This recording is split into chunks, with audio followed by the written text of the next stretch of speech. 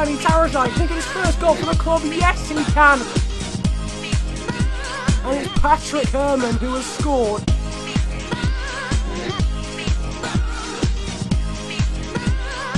What a goal from Maxi Arnold.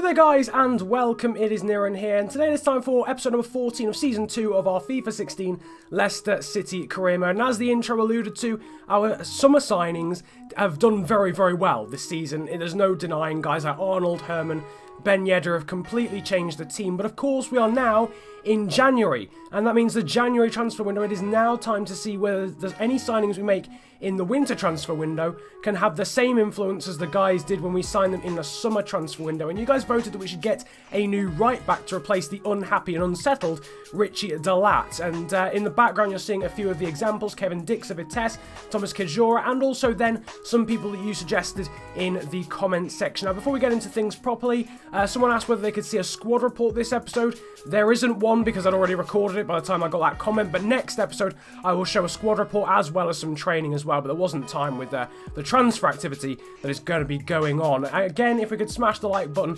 on this episode, that'd be massively appreciated. And for those that are playing on PC, you might find a link in the description fairly helpful. It is WWT FIFA Mods. They specialise in modding uh, the PC version of FIFA 16. And if you've got any queries or you want any tips on that, then feel free to hit the link in the description below. That will really help those guys out. In the background, though, you have seen the examples of the right backs we're looking for. We've made inquiries for all of them. First of all, Kevin Diks of Vitesse. Uh, Vitesse Arnhem want £2.5 million for him. Uh, Wolves came back and talked about Dominic Iorfa. Uh, we inquired about him and uh, they set us a price tag of £3.4 million. Lech Poznan got back to us about Thomas Kedziora and they said they wanted £2.8 million. So you can see that none of the none of the price tags are really that expensive. Red Bull Leipzig uh, when I inquired about Lukas Klostermann, that was another suggestion from the comment section. They said they only wanted £2.2 million. Uh, Sao Paulo said they only wanted £3 million for the young Brazilian right back, who is known as Auro. And then the final enquiry was to Saidi Janko, £3.4 million uh, suggested by Celtic. But given his potential and his current overall, I'm not entirely sure that's something I want to look at. So I think Saidi Janko is probably the only person I can rule out for now, but all the other guys you just saw there are still firmly in the running to be bought. In the meantime, last time you guys voted that I shouldn't be making uh, counter offers for players that are in the starting 11, so as a result of that, you can see we are uh, rejecting all future offers for Brildon and Embolo after getting a £17.5 million offer from Schalke. Pretty hefty after we signed him for just under 10, but you guys said you didn't want to sell players like that or even counter offer for players like that, so I completely understand, and uh, the only players players we counter offer for will be people who are in the substitutes, or players who are slightly more expendable than the likes of Embolo and um, and, you know, the starting 11 players. In the meantime, we're now making some bids for the right backs. A £2.3 million offer for Sao Paulo's Auro, who I think is about 72 or 73 by this point in the career mode. Lukas Klostermann of Red Bull Leipzig were making a £1.5 million bid for him, just testing the waters as I always do, putting a slightly lower offer than uh, the value they got they gave to us when we inquired, and just see how things go, just haggle and negotiate a little bit instead of just going straight in and uh, matching what they want. Uh, Thomas Kedziora of, of Poznan, the 22-year-old, we're offering £2.2 million. He's very much the unknown option, someone you've probably never heard of, whereas the likes of Iorfa and uh, an Auro maybe you have. Uh, next up though, Kevin Diks making a £2 million offer for the Vitesse Arnhem Dutch Youngster 10k is his salary. Again, the, the price tags are fairly low and the salaries are pretty low as well. And then finally, Dominic Iorfa. Wolves wanted 3.4. We're going to offer slightly lower than that. We're going to give them 2.75 million pounds uh, to the West Midlands team. We'll have to see how that one goes. He's probably the most high-profile player of the lot, and I think has the highest of the potentials. Nevertheless, it is now time to move into the first game of today's episode at St James's Park as we face off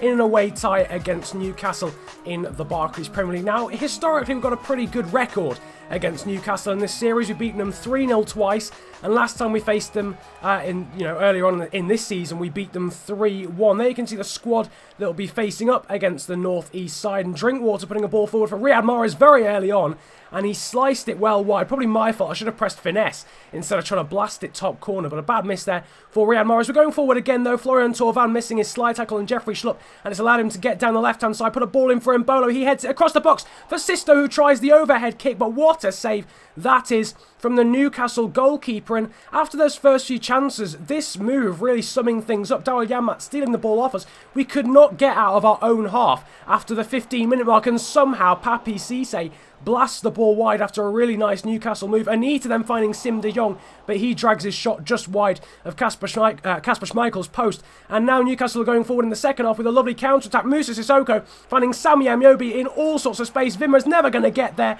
and Ameobi puts it past Kasper Schmeichel at the near post. And Newcastle, props to them. They were playing so, so well in this game, and they get the goal that they deserve. We could just not handle their closing down. It's incredible. I'd never played a game where the opposition had closed us down so effectively to the point where we just couldn't get out of our half for 20 minutes at a time. As you can see, we have managed to get into the opposition half with Kamano. They're finding some space. It falls to Jamie Vardy on the volley, but it's saved again very well there by Rob Elliott. Now into injury time, into the 90th minute. Jamie Vardy is going to have to try and find some space. He gets past Rob Huth and he's one-on-one -on -one, and he's hit the inside of the post in the 90th minute and you know, just just them ones. You know, them ones where you're just not supposed to win a game. It was just, it was just one of them. We lost the game 1-0 against Newcastle.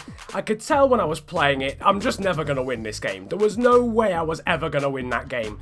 Or even draw that game, let alone get a win. And uh, Kasper Schmeichel gets man of the match. But we do lose, for I think the first time ever, actually, for about a year and a half real time, to Newcastle. Nevertheless, in brighter news, we've had um, some bids accepted for the players we were looking at. Kedziora and Diks, Lech Poznan and Vitesse, respectively, have accepted offers for those guys. Sao Paulo have also accepted our £2.3 million bid for Auro, and Wolves have accepted our £2.7 million, uh, £2.75 million bid for Dominic Iorfa. Now, um, the only team to actually reject a bid was actually Red Bull Leipzig. They rejected our £1.5 million bid for Lukas Klostermann. We put in a better bid of uh, 1.8 in the end, and uh, we'll be going through with that one. Hopefully, they'll accept that bid and uh, we'll be able to get into contract talks with him as well. But now it is time to engage in contract talks with the other players that we had our transfer fees or transfer bids accepted for. And the first of which is Dominic Iorfa of Wolves, the right back, 21 years old. Um, Again, if there's uh, if there's any players that you don't know, you don't know the attributes of or the potentials of, all their SoFIFA profiles will be in the description below, as is always the case, because I understand a lot of these players you may not have heard of before. Also making a contract bid there for, or contract offer for Auro, 15k a week after 20k a week for Dominic Iorfa, uh, making a £20,000 a week bid as well for, oh, what do I keep saying bid, offer for Thomas Kedziora. Uh, all of the lengths, I think, were four-year contracts, uh, and squad roles, I put squad rotation player for all of the contract offers. Now making a 15k a week contract offer for Kevin Diks of Vitesse on the 20-year-old uh, right back, getting a squad rotation, squad role, and also a four-year length in contract. So we'll have to see whether those contract offers are successful after the second game of today's episode, which is against Liverpool. And uh, as you can see there, just an illustration of just how close the Premier League is at the moment. Five points separating ourselves and Liverpool, and six positions separating ourselves and Liverpool. We are second on 41.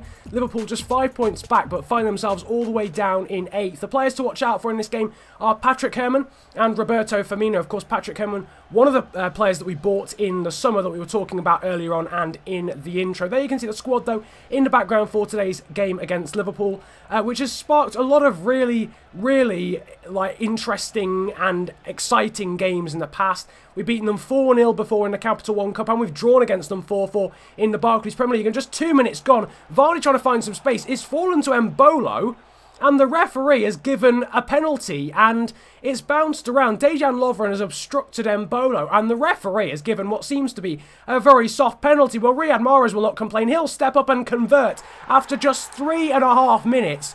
And in the blink of an eye, we're already beating Liverpool. I hadn't even said what stadium we were at. We're at home for this game. And Riyad Mahrez has made the home fans very happy because he's blasted the ball uh, into the into the net and uh, sent Simon Mignolet the wrong way. Just six minutes later, Maxi Arnold picked up the ball on the edge of the area, but a good save from Mignolet, hooked back into the box from Riyad Mahrez, but Masuaku's header is blocked. Embolo now, some good hold-up play to find Mahrez. Kante now seeing Bruno Perez on the overlap down the right-hand side on the 29th minute. He's going to try and cut past Alberto Moreno. He does so, blast the ball past Simon Mignolet at his near post and we lead 2-0 here already after just half an hour and Bruno Perez, the fan favourite, the main man, finding himself in all sorts of attacking positions yet again, cutting past Alberto Moreno and what a finish that is from the Brazilian right back. He's not getting replaced uh, very anytime soon, though we are going to hopefully give him a bit of an understudy and an undergraduate. Nevertheless, Daniel Sturridge there hitting the crossbar, his header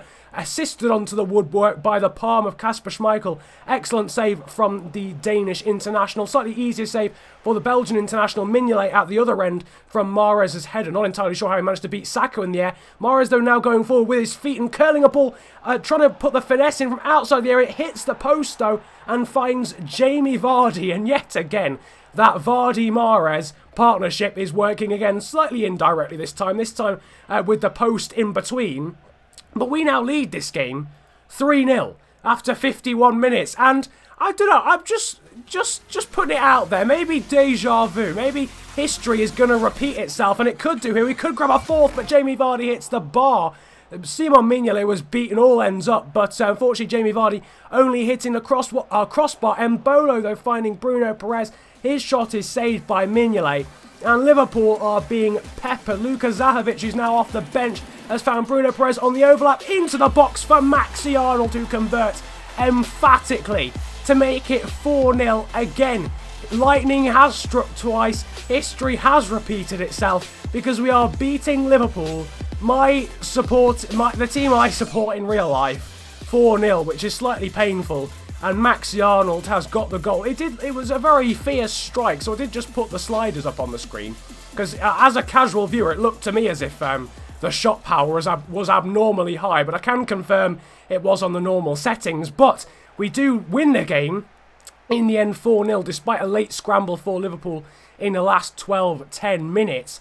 But Bruno Perez, he had a big part to play. He scored one of the game, uh, one of the goals, and he got man of the match. Good rating as well there for Maxi Arnold, and an 8.2 for Mara, 7.7 as well for Fukrata Masuaku. And what a performance yet again thrashing the big teams on the big on the big stage, it has to be said. Well, moving on from that incredible performance, we are now selling a player. Kyle Bailey is off to Shrewsbury for 220k, and we've also got some good news about the players that we are trying to sign. Auro has accepted a contract offer, as well as Dominic Iorfa. Rebel, uh, Rebel Leipzig, sorry, have also uh, accepted, or RB, technically RB Leipzig. Technically, they're not Red Bull Leipzig, but they are to me. Nevertheless, that's not the point. Red Bull Leipzig have actually accepted our contract offer for uh, Lukas Klostermann and just uh, confirmation there that Bailey has been sold. Kedziora has also accepted a contract offer as well as Kevin Dick. So Now, the only thing we have to do is offer a contract to Lukas Klostermann because obviously Red Bull Leipzig rejected our first offer for him.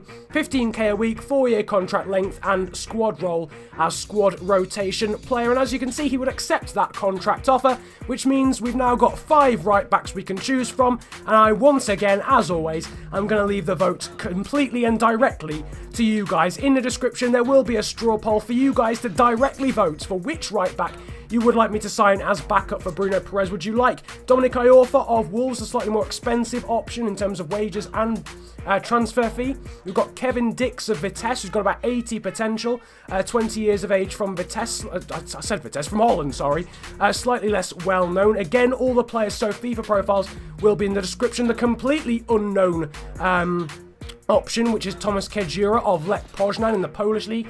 £2.2 million for him and 20k a week in offered wage. Lukas Klostermann as well, £1.8 million, 15k a week from Red Bull Leipzig, and of course Auro as well from uh, Sao Paulo. So judge it on the player that you like on their potential, on their current overall, on, you know, the fee, on their wages, everything. Take that all into account. Have a look at their SoFIFA profiles and then vote in on the straw poll in the description as to which right back you would like me to buy. Nevertheless, hope you guys have enjoyed this episode of Leicester City Career Mode. Feel free to hit the likes button if you did enjoy. Subscribe if you are new around here as well. And comment about enjoying the video if you enjoyed it that much. Don't forget to check out the straw poll and vote on that, as well as checking out WWT FIFA mods in the description But nevertheless, it's been a pleasure ranting at you guys today. Have a good day, enjoy yourselves, and goodbye.